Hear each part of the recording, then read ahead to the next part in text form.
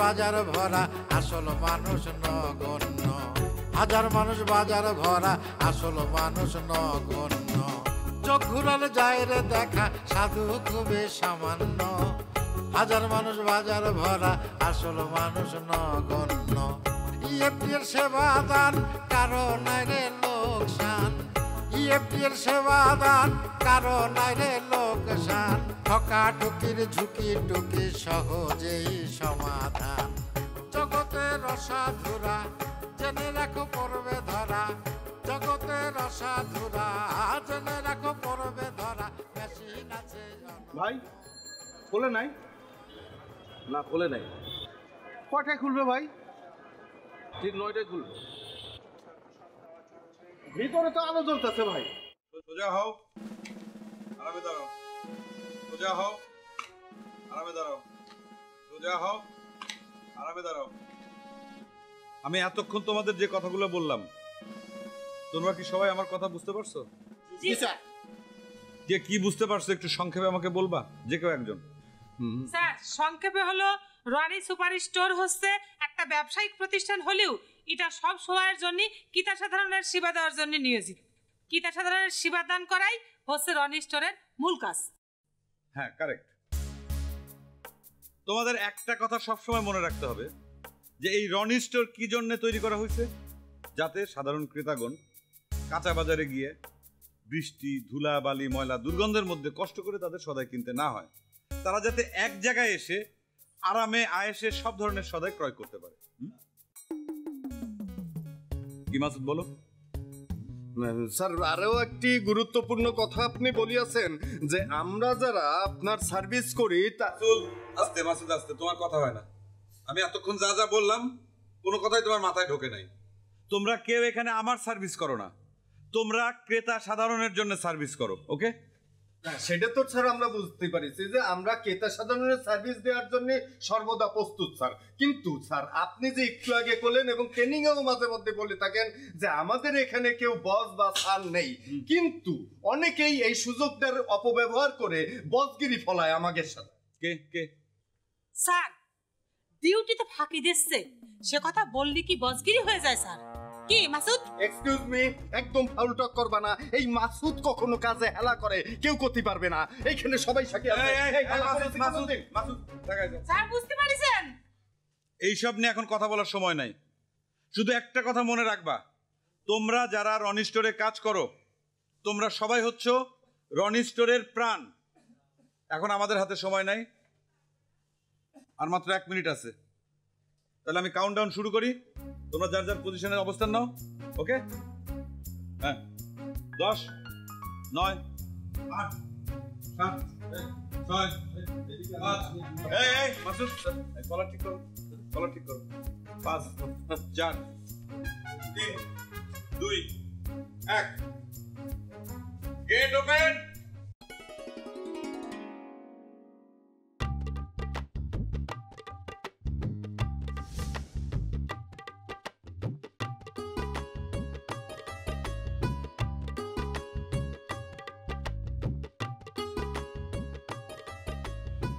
ব্যাপার সালমা? কোথায় যাচ্ছ? রনিস্টনে নাকি? আমি না তোমাকে বলেছি তুমি আমাকে এই ধরনের প্রশ্ন কখনো জিজ্ঞেস করবে না। আমি কোথায় যাই না যাই তা তুমি আমাকে জিজ্ঞেস করো কিসের জন্য। ঠিক মতো ডিউটি করো। না মনে করো যে ডিউটি তো করতেছি। এই যে তোমাকে যে জিজ্ঞেস করলাম যে কোথায় যাচ্ছ সালমা এটাও কিন্তু আমার ডিউটির মধ্যে কথা কওয়ার জায়গা পাও না তাই না? যারা যারা এই বিল্ডিং থেকে বেরোয় তুমি কি সবাইকে জিজ্ঞেস করো কে কনে যাচ্ছে না যাচ্ছে? না মিথ্যে কথা কব না। সবাইরে তো জিজ্ঞেস করা যায় না কিন্তু তোমার কথা তো আলাদা। আমার কথা আলাদা মানে? মাইন্ড করো না সালমা। আমি কোনো মিনিং করে কথাটা কই নেই। মনে করো যে মালিক স্যার ম্যাডাম তাকে তো জিজ্ঞেস করা যায় না কোথায় যাচ্ছে এখন থেকে মনে করব আমিও মালিক। তাই নাকি? তোমাকে মালিক মনে করে রাখবে ও তো ফোর্টি ফ্ল্যাটটা কি ওই মালিক স্যার ম্যাডাম তোমার নামে লিখে দিছে নাকি? কথা কথে তো ভ্যাট ট্যাক্স লাগে না। মুখে যা আসে তাই কয়ে ফেলাই দাও হ্যাঁ? কথা শুনে মনে হয় করে হাট ফেল খাই মানুষের হার্ট ফেলি হওয়া উচিত। তো হার্ট ফেল হওয়ার আগে আমাকে একটা প্রশ্নের জবাব দাও তো। তুমি আমাকে তুমি তুমি করে কথা কিসের জন্য? কে? ওই ফোরটি ফ্ল্যাটের মালিকানা দাবি করতেছো সেই জন্য কি তোমার ম্যাডামকে করা লাগবে? ওরে আল্লাহ। তাহলে ঠিক আছে আগে দলিলটা দেখে নেই। জি না তুমি এখন থেকে আমাকে তুমি করে বলবা না। দেখো সালমা আমি কিন্তু তোমার সে বয়সে বড়। তুমি যদি আমারে তুমি তুমি করে করতে পারো তাহলে আমি কেন তোমার তুমি করতে পারব না? আমি বলেছি তাই। ফাউল লোক কনে কর। এই শুনো সেক্রেটারির কাছে কিন্তু তোমার নামে আমি নালিশ দিব। বলব তোমার নজর খারাপ বদ নজর তখন বুঝবা। কি? আমার নজর খারাপ? এই কথা কিন্তু প্রমাণ করা লাগবে, সালমা। দেখেছ শ্রমিক শ্রেণির মধ্যে কোনো মিল মহম্মত নাই, সেই জন্যই তাকে কোনো উন্নতি হয় না। ভ্যাট ট্যাক্স দেওয়া লাগে না তো, সেই জন্য মুখে চা আসে তাই করে ফেলাও না। আচ্ছা ঠিক আছে। এখন থেকে খারাপ নজরেই তাকাবো।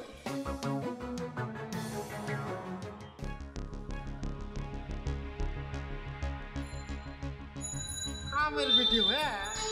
দেবাক দেখায় কামের বেটি আবার বড় বড় কথা।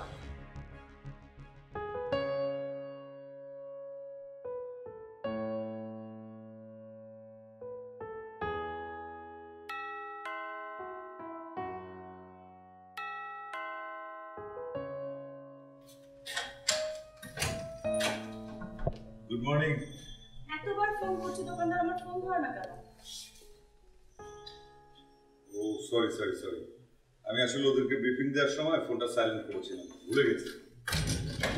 প্রতিদিন সকালবেলা উঠে ব্রিফ করার জন্য দোকানে চলে যাও। কেউ যে নাস্তা না করে বসে আছে সে খেয়াল আছে তার? খেয়াল আছে? জন্যই তো শাখা ওপেন করার সাথে সাথে তোমার সঙ্গে নাস্তা করব বলে বাসায় চলে আসলাম। আসতে কে বলে? দোকানদার দোকানদারি করলেই পারে। তুমি আমাকে যতই দোকানদার দোকানদার বলে ইনসাল্ট করতে চেষ্টা করো আমি কিছু মনে করছি না। তুমি যাই বলো। ছোট হোক বড় হোক আমি আসলে একজন গর্বিত উদ্যোক্তা। তুমি তোমার গর্ব নিয়েই পুলকিত হও। আর এদিকে আমার আব্বু আম্মু যে তাদের মেয়ের জামার কোনো পরিচয় দিতে পারে না গর্ব করতে পারে না সেটা একবারও ভেবেছো? স্বার্থপর একটা? আচ্ছা গর্ব করতে না পারল সমস্যা নেই কিন্তু পরিচয় দিতে পারবে না কেন? আমি কি চোর ডাকা দুর্নীতিবাজ? তা না হয় আমি বুঝলাম কিন্তু মানুষের কাছে কি বলবে? তাদের যে আমি দোকানদার? বললে কোনো সমস্যা তো নেই সমস্যা তো তোমার চোখে তো সমস্যা মনে হবে না। তোমার কাছে এগুলা বলেও কোনো লাভ নেই। সারা জীবন নিজে যা ভেবেছো তাই করেছ। না হয় এত ব্রিলিয়ান্ট রেজাল্ট নিয়ে কেউ পাড়ায় দোকান খুলে বসে। দোকান না। বলো যে সুপার শপ রনি স্টোর। দোকান দোকানি। আর দোকানদার দোকানদারি। তোমার ওই সুপার শপ যেদিন সুপার ফ্লপ হবে সেদিন বুঝবা। আসো নাস্তা করতে আসো।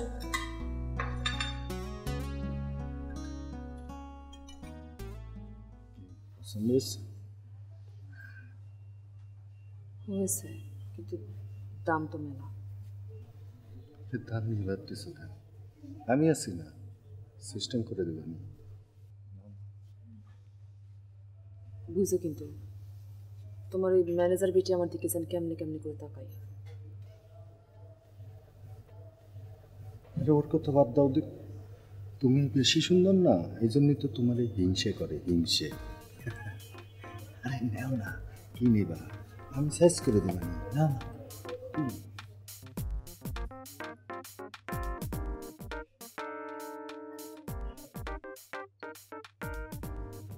I love you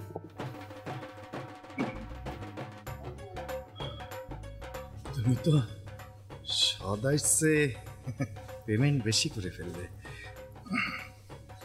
I love you two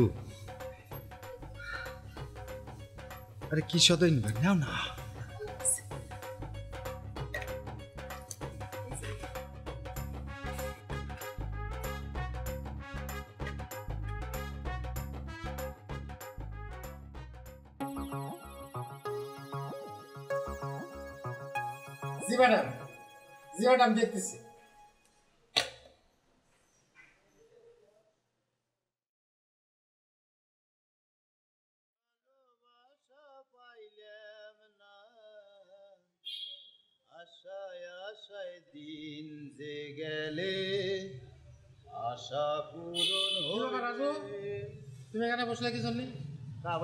সমস্যা? সমস্যা নাই মানে? পাও না পাও পাও না পাও এটা কি তোমার বসার জায়গা?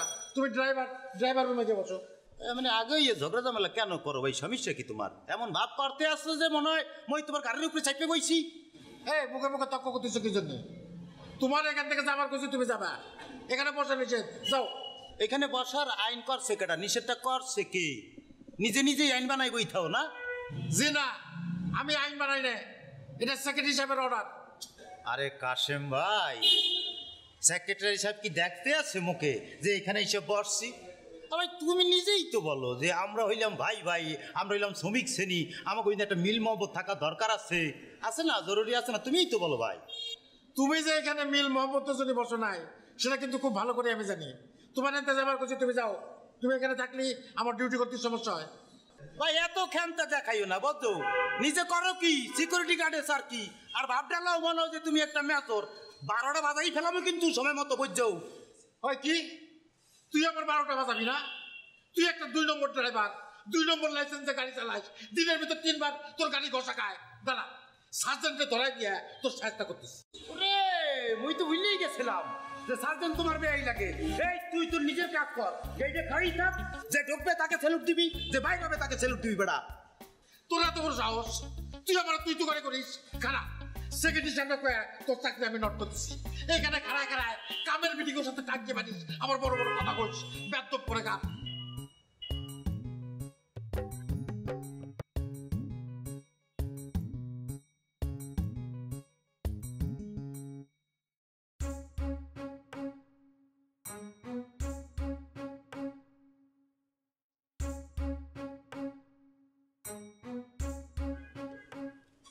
কি ব্যাপার?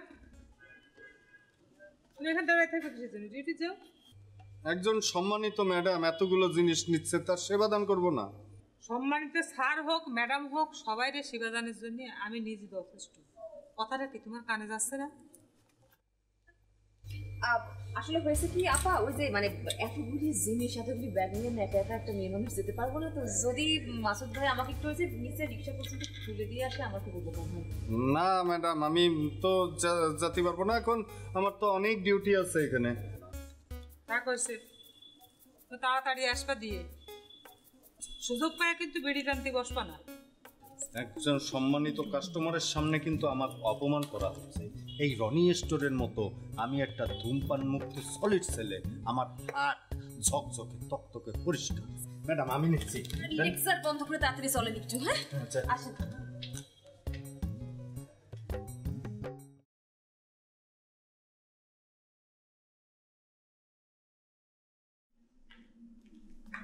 তোমার হিসাব নিকাশ বন্ধ করো চলো। কোথায়? কোথায় মানে? তোমাকে বলেছি না? আমি মার্কেটে যাব একটু কেনাকাটা আছে। তারপরে মার বাসায় যাব।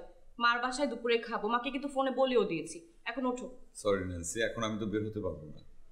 আমার কয়েক মাসের অ্যাকাউন্টস মেলানো হয়নি। এই মাসের ভ্যাটের চালান দেওয়া বাকি। আশ্চর্য! সব কাজ তোমাকে কেন করতে হবে? অ্যাকাউন্টেন্ট রাখো অফিস নাও। তুমি না এত বিশাল উদ্যোক্তা। বিশাল না ক্ষুদ্র তবে গর্বিত। ছোট হলেও আমি আমার রনি স্টোরের মাধ্যমে দেশের জন্য কিছু একটা করতে পারছি। ওমা তাই নাকি? এতদিন শুনেছি মানুষকে কাদা পানি ঠেলাঠেলি না করে মনোরম পরিবেশে বাজার করার জন্য তুমি সুপার শপ করেছ। এখন বলছো তুমি দেশের জন্য কাজ করছ? তুমি জানো প্রতি মাসে আমি আমার রনি স্টোর থেকে কত টাকা ভ্যাট দিচ্ছি? তুমি ভ্যাট দাও? অবশ্যই দেই। আমি যদি বলি কথাটা ভুল ভ্যাট দেয় ভোক্তা জনগণ। যারা তোমার দোকান থেকে কেনাকাটা করে তারা। আর তুমি শুধু ভ্যাট সংগ্রহ করে সরকারের কোষাগারে জমা দাও ব্যাস। আর সেটা দেয়া তোমার নৈতিক দায়িত্ব। বাহ খুব সুন্দর একটা কথা বলেছ তো। আমি তো কখনো এভাবে চিন্তা করিনি। আসলেই তো ভ্যাট তো দেয় জনগণ।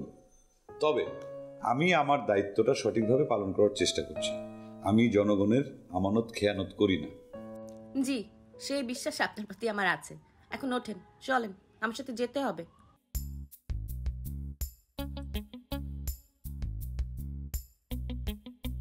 তুমি যে এভাবে জিনিসগুলো পাচার করো খালামায় জানিয়ে গেলে সমস্যা হবে না সালমা আমি খালাম্মার টাকা এসব জিনিস কিনি।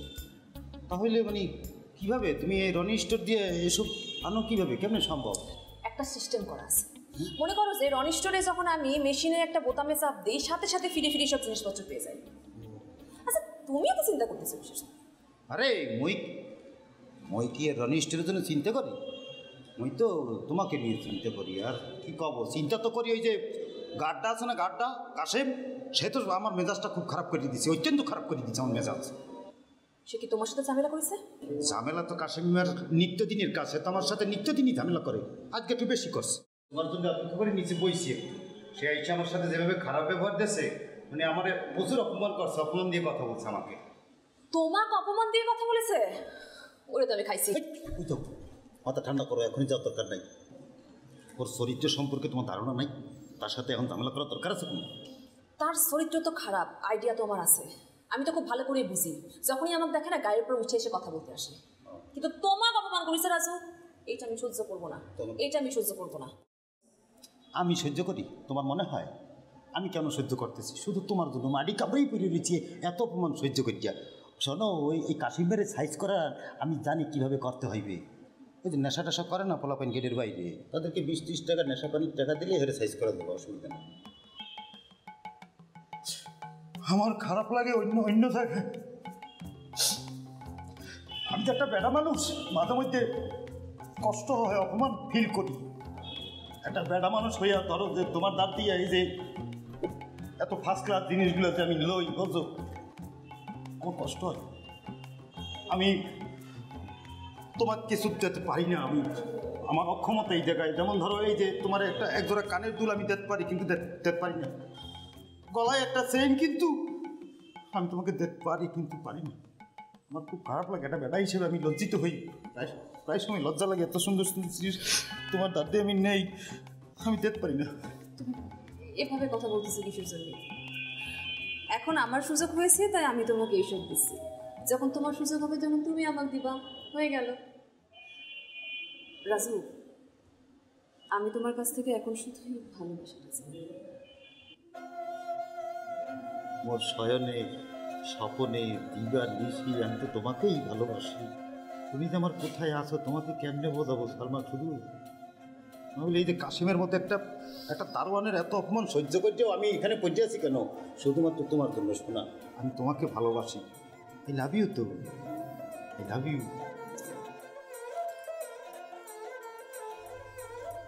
বেচা কেমন চলতেছে আপা ভালো। তোমার কিরম অবস্থা? আজকে ডিউটি নেই? ডিউটি থাকলে কি আর এরকম সিভিল ড্রেসে আসতে পারতাম? বাসা বাড়ির চাকরি তো আবার ভালো লাগে না। আপনারা কত করে কলাম যে আপনাকে এখানে একটা চাকরি দিয়ে দেন? সারাদিন আপনাদের সাথে থাকি চাকরি বাকরি করি। কিরাম ভাবে কথা বলতিস যেন আমি এই স্টোরের মালিক। আমি চাকরি দেবো কিরাম করে রে ভাই।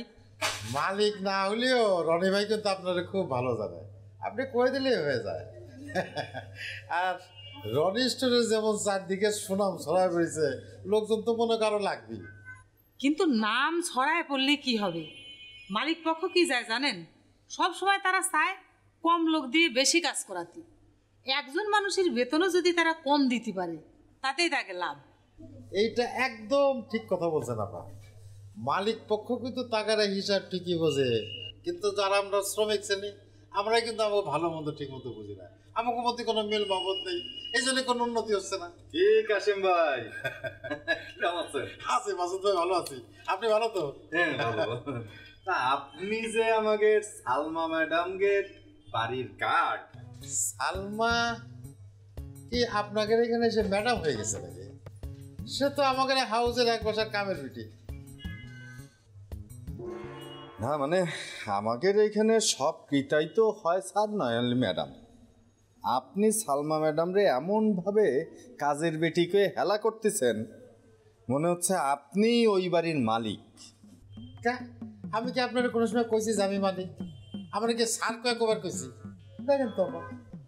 এ মাসুদে সালমারে কোনো কথা বললে তোমার গায়ে লাগে কিসের জন্য এত? গায়ে না লাগার কি আছে? সে তো আমাদের এইখানের একজন সম্মানিত কিতা কাস্টমার এ কিরম কাস্টমার তো প্রতিদিন শত শত আসতেছে। কই আমি তো দেখিনি কারোর ব্যাগ নিয়ে যেয়ে তোমার রিক্সায় তুলে দিতি। সালমার ব্যাগ নিয়ে যেয়ে তুমি প্রত্যেকদিন রিক্সায় তুলে দাও। এ কিন্তু খুব সন্দেহজনক। হুম। তোমার কাছে তো আমার সব কাজই সন্দেহজনক। সব সময় বসগিরি দেখাও না। কি কাম করো সারাদিন? কামের মধ্যে তো করো খালি টাকা গোনো আর স্লিপ কাটো। আর মুখটারে এমন কাটতে করে রাখো কেউই তো তোমারে পছন্দ করে না। সব কাস্টমার তোমারে অপছন্দ করে। এই ফাজিল আমি কি কাস্টমারের সাথে বিবাহ করব নাকি? যে তাকে আমার পছন্দ হওয়া লাগবে? আর যদি কোনোদিন ওই সালমা নাকি কামলা তার ব্যাগ নিয়ে যেয়ে তুমি রিক্সায় তুলে দিছো তাহলে কিন্তু আমি একদম সোজা বসের কাছে যাই নালিশ করে দিবানে। হুম শিখেছে তো এই এক নালিশ করতে।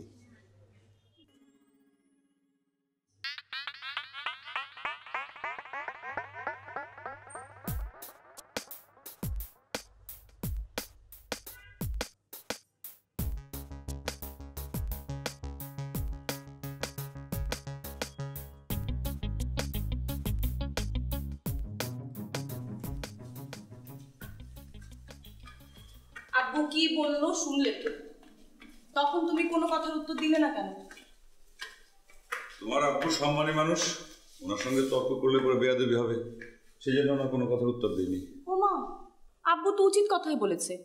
মেধাবীরা দোকানদারি করবে কেন? আচ্ছা তোমার আব্বুর কেন মনে হলো?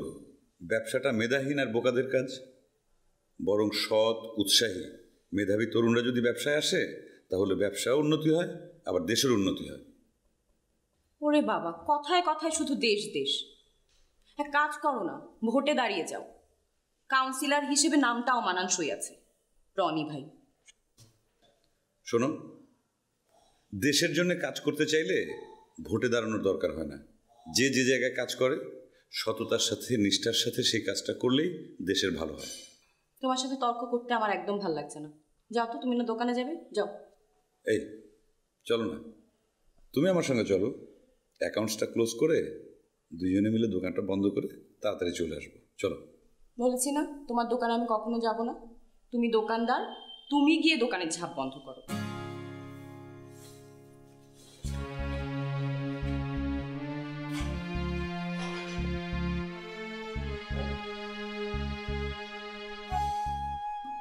কি করো জান?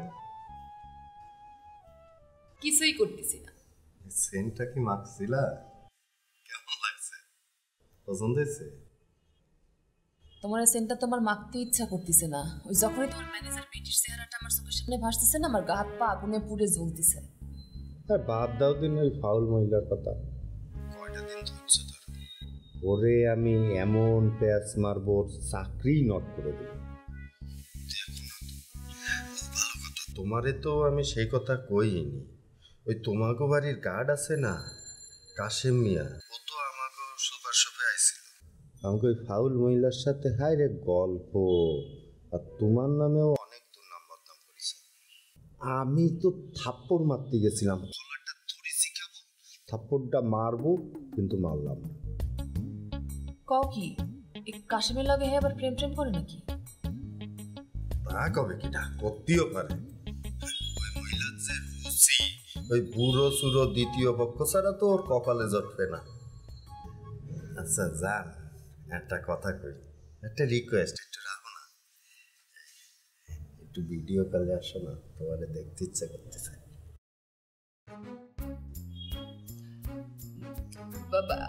কি হয়েছে জান? আমি হচ্ছে একদম বাসার নর্মাল ড্রেসে আছি আর বাসায় কাজ বাকি আছে খালাম্মা ডাকতেছে।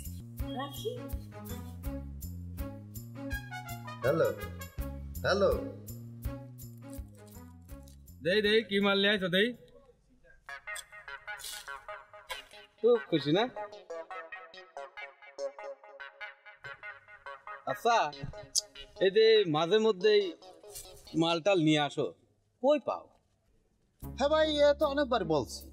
মোর বস, মানুষের কত রকমের নেশা থাকে ভাই। মোর বসের নেশা হয়েছে বিদেশ যাইনের নেশা।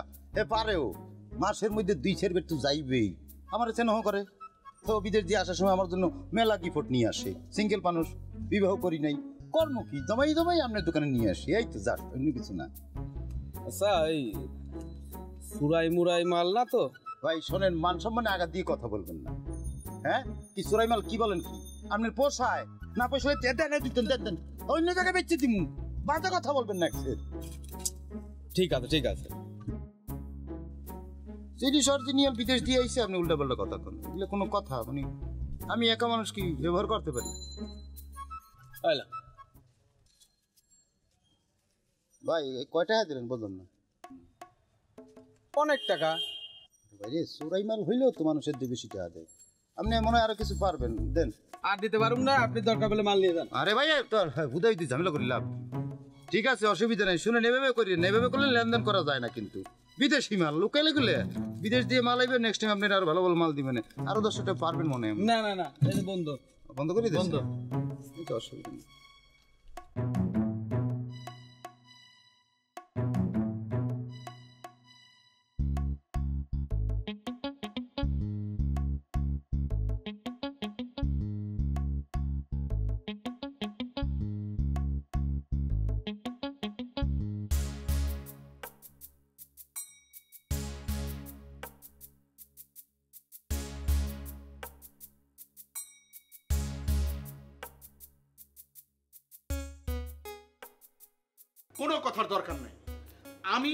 আপনাকে ভ্যাট দিয়েছি আপনি আমাকে ভ্যাটের চালান দিবেন এটা হচ্ছে সহজ হিসাব। স্যার আপনি কি হয়েছে ফরিদা স্যার আপনি আমার সঙ্গে কথা বলুন কি হয়েছে?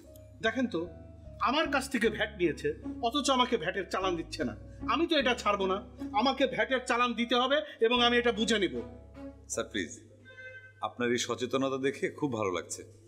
অবশ্যই আপনি ভ্যাট চালান বুঝে নেবেন। এটা আপনার অধিকার। আমরা অনেকেই এটা করি না।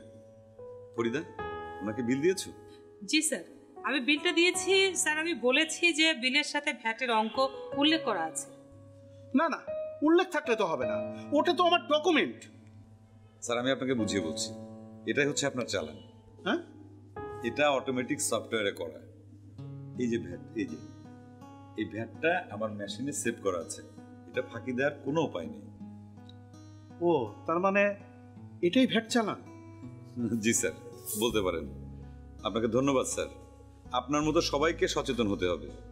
ভ্যাট শুধু পরিশোধ করলেই হবে না চালান ডকুমেন্টও বুঝে নিতে হবে। থ্যাংক ইউ আপনাকে থ্যাংক ইউ আমি দুঃখিত ম্যাডাম sir.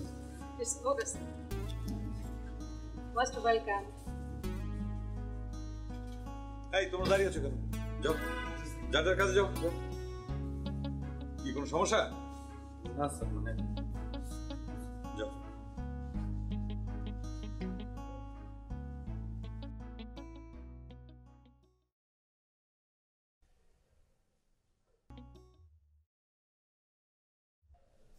দেখলে তো? আমার কথা কেমন সত্যি হলো? তোমার সুপার শপ কেমন সুপার ফ্লপ হয়ে গেল? এক বছরের মাথায় ব্যবসায় লাল বাতি চলে গেছে। এখন আবার তুমি সেই দোকানে নতুন করে ইনভেস্ট করার জন্য লোন তুলতে চাও? কি করব বলো? কি দিয়ে কি হয়ে গেল আমি তো কিছু বুঝতে পারলাম না। আর একটা বার চেষ্টা করি। দোকান কেন চালু রাখতে হবে? আবার লস করার জন্য? যা ছিল সবই তো এখানে ঢেলে দিয়েছ। আবার নতুন করে এই দোকানে ইনভেস্ট করার জন্য লোনের ফাঁস কেন গলায় পড়তে হবে? তুমি না গর্বিত উদ্যোক্তা এই তোমার অবস্থা। তোমার দোকানের না অনেক সুনাম ছড়িয়ে পড়েছে। এখন? আর একটা বার চেষ্টা করি। অসম্ভব। আমি আর তোমাকে এখানে একটা পয়সাও ইনভেস্ট করতে দেবো না। কোনোভাবেই। তুমি আজকেই দোকান বন্ধ করবে ব্যাস। অনেক হয়েছে।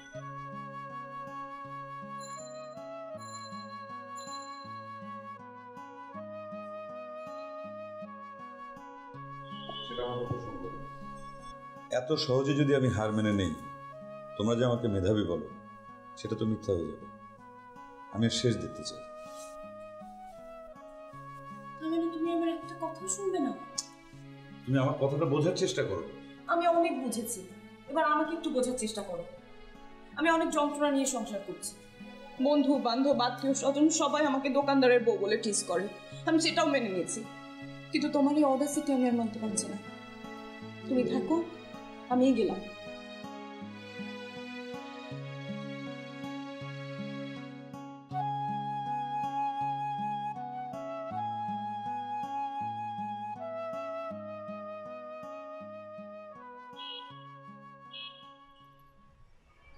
সালমা, জানেমন, বলছি যে এ কয়টা জিনিস আমার লাগবে, এটা দরকার ইমার্জেন্সি রাজু এই লিস্ট তো অনেক বড় লিস্ট? আর দেখে তো মনে হচ্ছে সবই বিয়ের বাজার সদাই। কি ব্যাপার রাজু? আমরা কি বিয়ে করতে চাচ্ছি নাকি? হ্যাঁ, বলতে পারো যে আমাদের বিবাহের রাস্তাটা পরিষ্কার করতেছি। হয়। তুমি তো জানোই মোর একটা ছোট বোন আছে না তার বিবাহ ঠিক হয়েছে। আরে আমি তার বড় ভাই তো কি? এখন ছোট বোনের বিবাহ না দিয়ে বড় ভাই বিয়ে করতে পারি তার জন্যই তো ঝামেলা হচ্ছে আর কি। বলছি কি এই কয়টা আইটেম লই গেলে হয় কি জিনিসটা ভালো হয় আর কি? সে সুন্দর দেখায়। না থাক বেশি সময় ছিল দরকার নেই লাগবে না। থাক আমি ব্যবস্থা লাগবে না থাক। কি কি বলতেছো তুমি? আমার প্রতি তোমার এই বিশ্বাস এই ভালোবাসা আমি চেষ্টা করতেছি সব কিছু আনতে। কিন্তু ঝামেলা কি জানো? ওই যে রনি স্টোরে এই সব কিছু পাওয়া সম্ভব হবে কিনা? সন্দেহ। বেশি লম্বা হয়ে গেছিলিস? আচ্ছা ওই যে ধরো দে ওই এক থেকে ওই পনেরো বিশ একুশটা আইটেম আপাতত দেখো যে ব্যবস্থা করা যায় কিনা। বেশি চাপের কিছু নাই তোমার চাপ দেবো না বেশি। ওই রনিস্টার হয়েছে কি? প্রবলেম কি হ্যাঁ? হয়েছে কি? কি হয়েছে তুমি জানো না? ওই যে আমরা যে মেশিনে বোতাম চাপ দিয়ে যা করি আমার মনে হয় কি জানো? যে তুমি না শুধু আর অনেকেই মনে হয় আছে যে এরকম বুতামে চাপ দিয়ে জিনিসপত্র খাই ফেলায় বুঝছ বিষয়টা। কি- করতেছো? কি সমস্যা নেই অসুবিধা কি? তুমি আর আমি ছাড়া তো কেউ নাই ছাড়ো। থাকবে কোথায় দিয়ে মানুষ পাও তুমি? তুমি কি জানি করতেছো? আগে বোনের বিয়ে দিয়ে আসো। যাও কেন থাকো এই।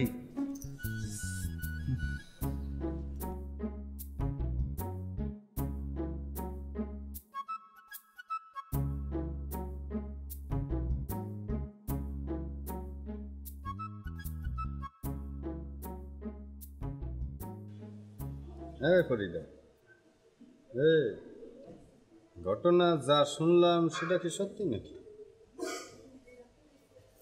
তুমি কি শুনিছো সেটা সত্যি না মিথ্যা? আমি বলব কিরাম করে? আমাদের মালিকের বউ ঝগড়া করে নাকি বাপের বাড়ি চলে গেছে। তুমি যতটুক শুনিছো আমিও অতটুকুই শুনেছি এর বেশি কিছু না। তা আমাদের মালিক দোকানে মালপত্র তোলে না কেন? দোকান তো ফাঁকা হয়ে গেল। মালপত্র তুলবে কিরাম করে? প্রতি মাসেই তো লস হচ্ছে। কিনার বেচার কোনো হিসাব তো মিলতিছে না। হিসাবের দায় দায়িত্ব তো তোমার। তো হিসাব মেলে না কেন? মেলে না যে কিসের জন্য? সেটা যদি ধরা যেত তাহলে কি আর দোকানে এইভাবে লাটে ওঠে নাকি? আচ্ছা এই রনি সুপার শপ আবার বন্ধ হয়ে যাবে না তো? হতেও পারে। লস দিয়ে আর মালিক দোকান কতদিন চালাবে? তার তো টাকশাল নেই তাই না? আরে মানুষ তো ব্যবসা করে লাভের জন্য। লাভের মুখ তো দেখা দূরের কথা। মূলধন শুদ্ধে লাটে উঠতেছে। হুম। বন্ধ হলে যে কি হবে? তো ভাবতেই পারি না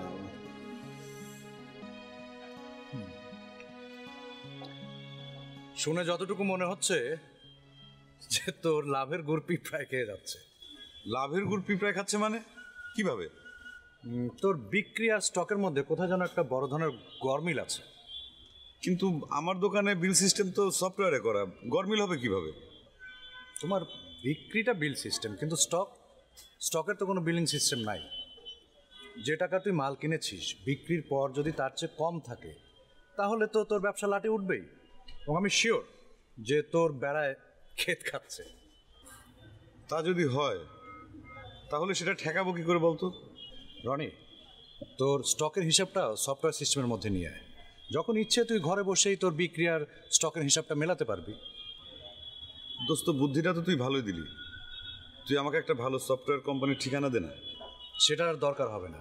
শোন রনি জাতীয় রাজস্ব বোর্ড আমাদের মতো ব্যবসায়ীদের সুবিধার জন্য বিনামূল্যে ইলেকট্রনিক ফিজিক্যাল ডিভাইস যেটাকে তোর সংক্ষেপে বলে ইএফডি মেশিন তুই সেটা নিয়ে নে তার মাধ্যমেই তুই বুঝতে পারবি যে তোর স্টক আছে কতটুকু বিক্রি হলো কতটুকু। কি বলিস? জাতীয় রাজস্ব বোর্ড বিনামূল্যে মেশিন দিচ্ছে কেন? তাদের লাভ কি? ইএফডির মাধ্যমে সঠিক ভ্যাট আদায় হবে তাই? শোন, প্রত্যেকটা ইএফডির বিপরীতে অনলাইনে একটা করে রেজিস্ট্রেশন নাম্বার থাকবে এবং কেন্দ্রীয়ভাবে সার্ভারে সকল তথ্য সংরক্ষণ করবে জাতীয় রাজস্ব বোর্ড। তুই কত টাকার মাল উঠালি কত টাকার মালপত্র বিক্রি করলি এবং কত টাকা রাজস্ব দিতে হচ্ছে, সব তথ্যই সেখানে থাকবে। তাহলে কি হচ্ছে? আলাদা করে ভ্যাট দেওয়ার জন্য তোর আর সময়ও দিতে হলো না, পরিশ্রমও করতে হলো এত চমৎকার একটা সুযোগ আমাদের সামনে, অথচ আমরা খোঁজই রাখি না। মানুষ তো ঠকেই শেখে বন্ধু। তবে ডিভাইসে যেটা দেখাচ্ছে সেটা কিন্তু মাঝে মধ্যে সরজমিনে গিয়ে চেক করে দেখতে হবে মালটা ঠিক আছে কিনা। আরেকটা জিনিস মনে রাখবি যে তোর চুরি হওয়া মানে কিন্তু শুধু তোর লস না সরকারও রাজস্ব হারাচ্ছে। এইবার বুঝতে পেরেছি। এনবিআর সেজন্যেই বিনামূল্যে ইঁদুর ধরার কল দিচ্ছে E ইএফডি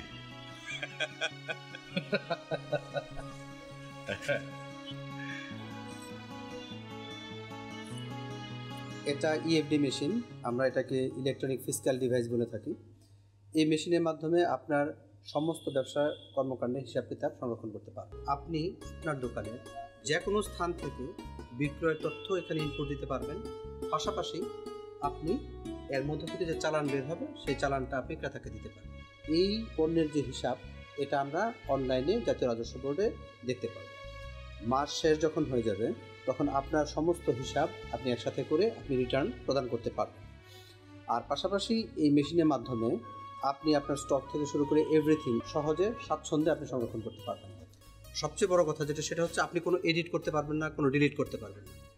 এবং আপনার যে স্টক থাকবে স্টকের সাথে যে কোনো সময় আপনি এটাকে ক্রস ভেরিফাই করতে পারবেন। আমার মনে হয় এটা আপনার ব্যবসাকে সহজ করবে এবং যথাযথ রাজস্ব, আইনানুগ রাজস্ব এটা প্রদানে আপনার জন্য সবচেয়ে বেশি সহযোগী হবে। থ্যাংক ইউ ফরিদা বুঝতে পেরেছ তো? এখন থেকে তুমি মনিটরে বসেই আমাদের দোকানে যত পণ্য স্টক আছে সব হিসাব রাখতে পারবে। কয়টা পণ্য বিক্রি হলো কয়টা স্টকে আছে সব কিছু জি স্যার। বুঝতে পেরেছি। খুবই ভালো সিস্টেম স্যার। একটা পণ্য এদিক ওদিক হলে সাথে সাথে ধরা পড়ে যাবে। জি আসলেই খুব ভালো সিস্টেম তো আমি চাইব আপনারা যে কোনো সমস্যায় যে কোনো সময় জাতীয় রাজস্ব বোর্ডে আসবেন। জাতীয় রাজস্ব বোর্ড আপনাদেরকে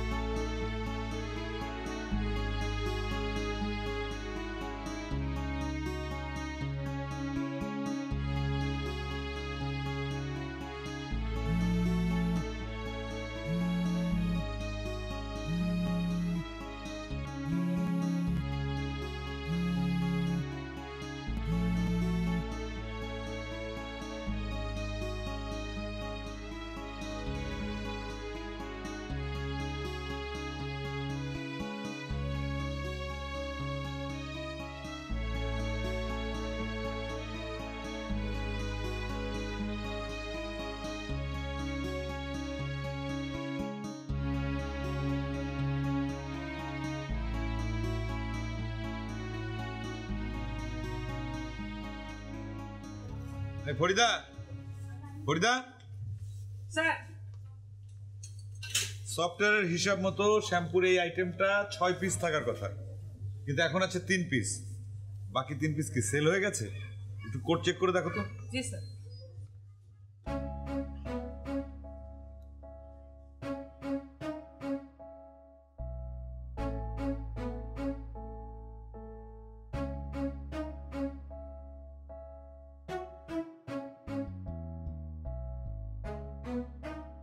স্যার। এই কোটের কোনো মাল আজকে বিক্রি হয়নি স্যার। সার্চ দিলে পারে ছয়টাই দেখাচ্ছে। তার মানে কি? বাকি তিনটা শ্যাম্পু এখান থেকে কোথায় গেল? ডাল মে কুচ কালা হ্যায়। এক কাজ করো আজকে সেল বন্ধ। সবাইকে ডাকো সবার সঙ্গে আমি কথা বলব। যাও। জি স্যার। হ্যাঁ বাসুন হ্যাঁ রাখি স্যার। হ্যাঁ কি হচ্ছে কি হচ্ছে? স্যার ডাকছে আসো আসো। এদিকে আসো স্যারটাকে আসো। স্যার আমি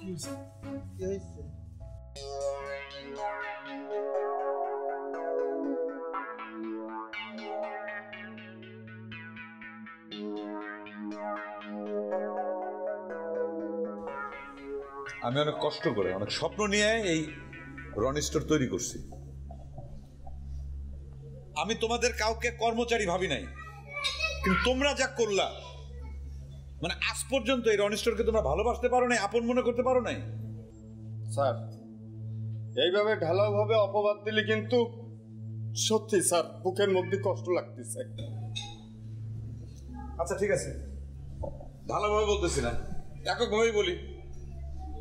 তোমরা কে বা কাহারা কোন ইঁদুর আমার এই রনিস্টোর ফাঁকা করে দিচ্ছ সেটা বলো।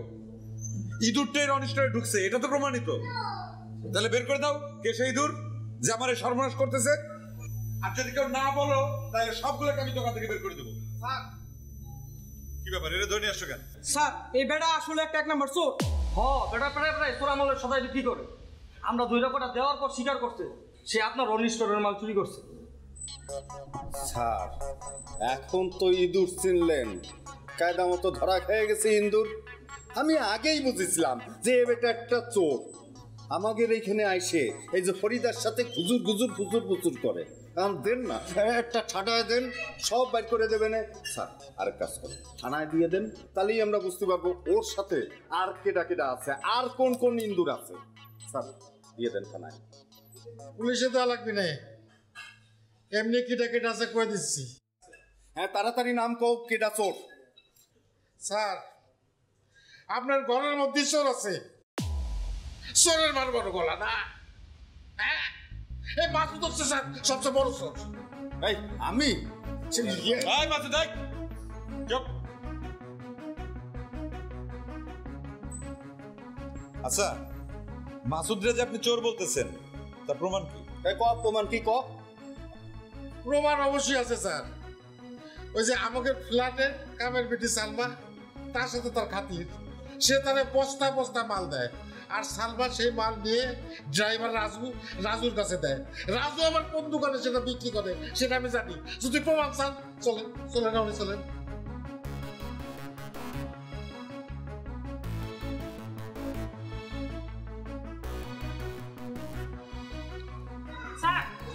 আমার মনে হচ্ছে ঠিক কথাই বলেছি। এই মাসুদরে দীর্ঘদিন হলো আমার সন্দেহ হচ্ছিল শুধু একটা প্রমাণের অপেক্ষায় ছিলাম, স্যার। আজকে সেই প্রমাণ পাই গেছি। কি মাসুদ? এখন কি বলব বলো? স্যার আমার মাফ করে দেন স্যার আমি আর কোনোদিন করব না স্যার আমি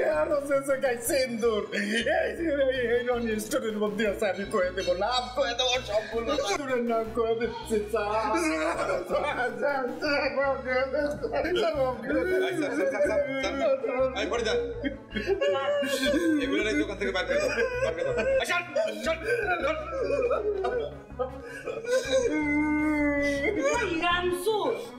তোরা খাটাস করে না মুখ দেখতে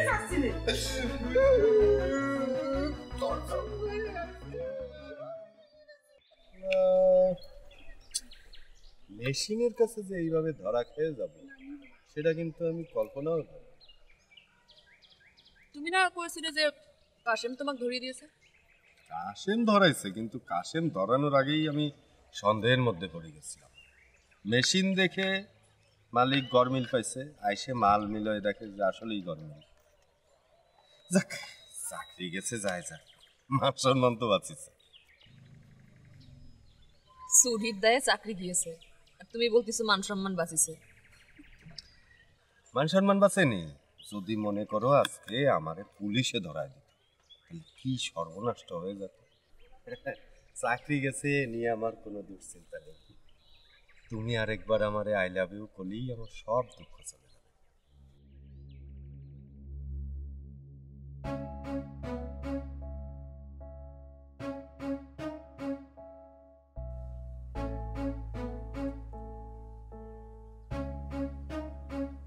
আমি তো তোমাকে আর আই লাভ ইউ করতে পারব না মাসুদ ভাই। মানে? মানে তোমাকে তো আমি আই লাভ ইউ বলতাম রনি স্টোরের বাজার সদের বিল পরিশোধের জন্য। সালমা তুমি এ কি কথা করছ? আমি তো আমার ভালোবাসার জন্যই চোর হয়েছি না? আমিও তো আমার ভালোবাসার জন্য এসব করেছি মাসুদ ভাই। আচ্ছা আমি তোমাক সত্যিটা খুলেই কই। ওই যে রাজু আছে না? রাজুর সাথে আমার প্রেম।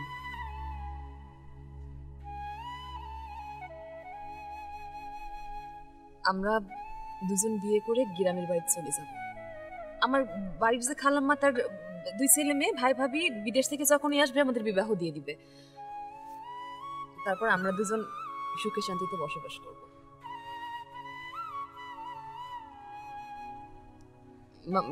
মাসুদ ভাই, তুমি আমাকে মাফ করে দিও।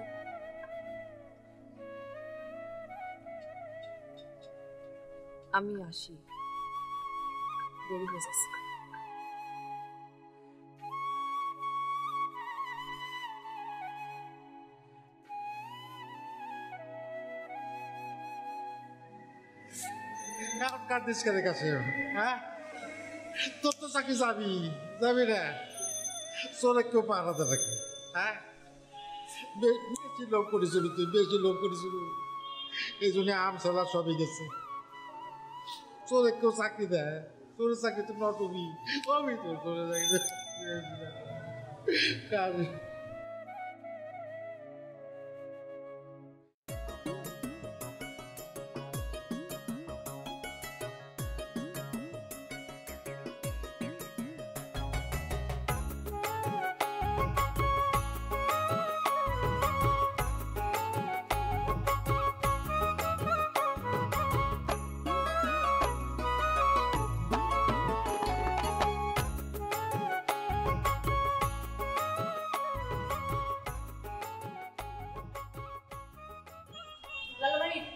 লালা ভাই রাজুরে দেখছ? হ্যাঁ হে তো দেশে চলে গেছে। দেশে গেছে? কখন গেছে? আমার সাথে তো রাতেও কথা হয়েছে। না হে তো ভোরবেলা চলে গেছে। তার তো দেশে বিয়া ঠিক হয়েছে। বিয়া করে দেশেই থাকব আর ঢাকা আইব না।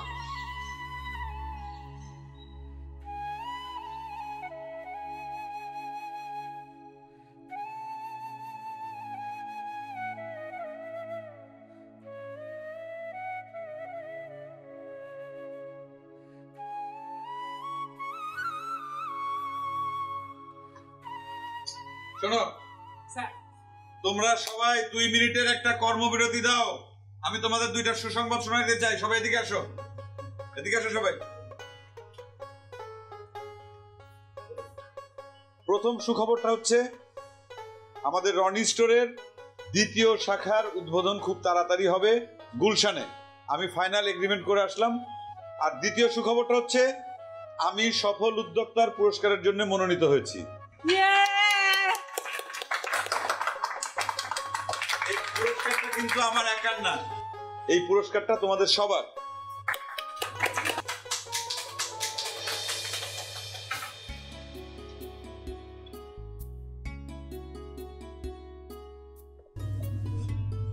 অভিনন্দন। শুধু পুরস্কারের জন্য নয়। সত্যি সত্যি তুমি যে হাল ছাড়নি সেই জন্য। থ্যাংক ইউ ভাবি। আজকে ভাবি রনি সুপার শপে প্রথম এসছে। মিষ্টি ছাড়া কিন্তু কোনোভাবেই চলবে না। থ্যাংক ইউ ভাবি। স্যারকে আপনি খাইয়ে দেবেন।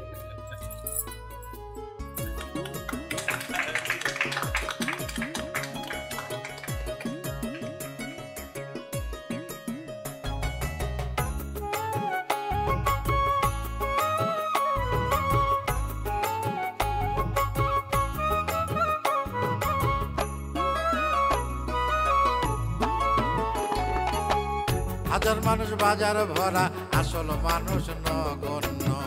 হাজার মানুষ বাজার ভরা, আসল মানুষ নগণ্য। চোখ ঘুরালে যায় রে দেখা, সাধু খুবই সামান্য। হাজার মানুষ বাজার ভরা, আসল মানুষ নগণ্য। ইএফটির সেবা দান, কারও নাই রে লোকসান। ইএফটির সেবা দান, কারও নাই রে লোকসান। ঠকা ঠুকির ঝুঁকি টুকি সহজেই সমাধান। জগতের রসাধুরা, জেনে রাখো পড়বে ধরা। জগতের রসাধুরা, জেনে রাখো পড়বে ধরা। মেশিন আছে অনন্য, হাজার মানুষ বাজার ভরা। আসল মানুষ